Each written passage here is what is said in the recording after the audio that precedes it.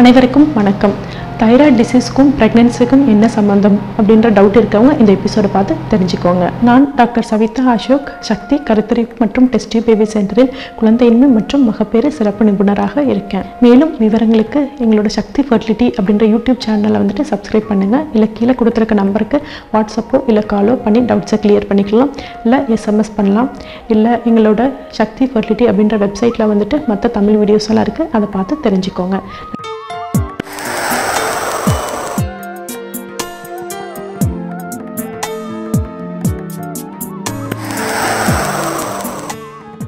ஏற்கனவே நான் சொன்ன மாதிரி குழந்தை இல்லாததுக்கு ஒரு இம்பார்ட்டண்டான ஒரு ரீசன் வந்து இந்த thyroid problem so thyroid problem உள்ளவங்க வந்துட்டு சிம்பிளாக அதை வந்து கரெக்ட் பண்ணாலே போதும். நிறைய பேர் அதுலேயே கன்சீவ் ஆயிருக்காங்க. ஸோ ஒன்ஸ் கன்சீவ் ஆனவங்க இந்த தைராய்டு டேப்லெட்டை எடுக்கணுமா? இந்த தைராய்டு டேப்லெட் எடுக் எடுக்கலைன்னா என்ன ப்ராப்ளம் வரும் அப்படின்றத நம்ம பார்க்கலாம். ஸோ நான் சொன்ன மாதிரி தைராய்டு டிசீஸ் உள்ளவங்களுக்கு வந்துட்டு நிறைய சிம்டம்ஸ் இருக்கும். லைக் கான்ஸ்டிபேஷன் மூடு சேஞ்சஸ் ரொம்ப டயர்ட்னஸ் இதெல்லாமே வந்துட்டு எப்படி இருக்கும் அப்படின்னா ப்ரெக்னென்ட்டான லேடிஸ்க்கு வந்துட்டு முதல் மூணு மாதத்துக்கு வர அதே சிம்டம்ஸ் மாதிரியே இருக்கும். ஸோ ப்ரெக்னென்சி அப்போ ட தைராய்டு வந்து செக் பண்ணல அப்படின்னா அதே சிம்டம்ஸ் அவங்களுக்கு தெரியறதுனால நம்மளுக்கு தைராய்டு இல்லை அப்படின்னு சொல்லி நிறைய பேர் அதை செக் பண்ணாமலே விட்டுருவாங்க. பட் அது தவறானதுங்க. ப்ரெக்னென்சி ஒன்ஸ் ப்ரெக்னென்ட் ஆகிட்டால் தைராய்டை வந்துட்டு கண்டிப்பாக செக் பண்ணணும். ஏன்னா ப்ரெக்னென்சி நான் ப்ரெக்னெண்ட்டாக இருக்கும்போது தைராய்டு இல்லைன்னா கூட ஒரு சிலருக்கு வந்து ப்ரெக்னென்சி அப்போ தைராய்டு வரலாம். ஸோ அதையும் செக் பண்ணிக்கோங்க. இந்த டெஸ்ட் எப்படி பண்ணுவாங்க அப்படின்னா தைராய்டு ஃபங்க்ஷன் டெஸ்ட் அப்படின்ற ஒரு டெஸ்ட் மூலமாக பண்ணுவாங்க. ஸோ அதை பார்த்தோம்னா அவங்க ஹைப்போ தைராய்டா இல்லை ஹைப்பர் தைராய்டா இருக்காங்களா அப்படின்றது நம்மளுக்கு தெரிய வரும். ஸோ இதை பார்த்தோம்னா அவங்களுக்கு ஹைப்போ தைராய்டா இல்லை ஹைப்பர் தைராய்டா இருக்கா அப்படின்றது தெரிய வரும். தைராய்டு ப்ராப்ளம் உள்ளவங்க அதை கண்ட்ரோல் பண்ணாமல் அவங்க ப்ரெக்னென்ட் ஆனாங்க அப்படின்னா என்ன பிரச்சனை வரும் அப்படின்னு கேட்டிங்கன்னா ஃபஸ்ட் டைம் மாஸ்டரில் வந்துட்டு அவங்களுக்கு மிஸ்கரேஜஸ் வரலாம்.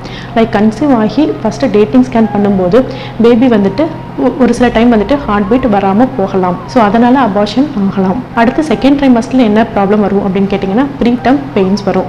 அதாவது முன்னாடியே வந்துட்டு வழி வரலாம்.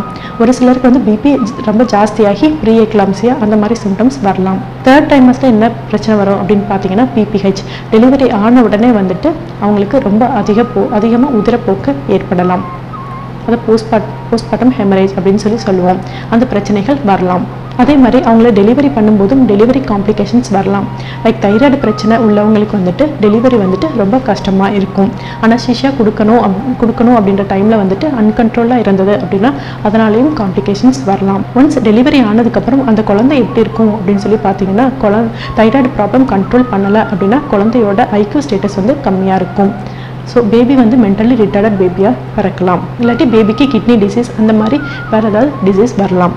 ஸோ தைராய்டுக்கும் ப்ரெக்னென்சிக்கும் நிறையா இன்டர் கனெக்ஷன் இருக்குது ஸோ தைராய்டை கண்ட்ரோல் பண்ணிவிட்டு ப்ரெக்னென்சி பிளான் பண்ணுறது ரொம்ப ரொம்ப அவசியமானது. இந்த ப்ரெக்னென்சி டைமில் இன்னொரு விஷயம் என்னென்னா தைராய்டு வந்துட்டு ரொம்ப ஜாஸ்தி வந்து வெளியில் போகும். ப்ரீ கன்செப்ஷன் கவுன்சிலிங் போயிட்டு தைராய்டை வந்து கரெக்ட் பண்ணிவிட்டு அதுக்கப்புறம் பிளான் பண்ணுறது ரொம்ப நல்லது. ப்ரெக்னென்ட் ஆனாலும் தைராய்டை வந்து செக் பண்ணுறது ரொம்பவும் அவசியம். ஸோ இந்த எபிசோடை பார்த்து தைராய்டு எவ்வளோ முக்கியம் ப்ரெக்னென்ட் ப்ரெக்னென்சி டைமில் அப்படின்றத தெரிஞ்சிருப்பீங்க. நன்றி வணக்கம்.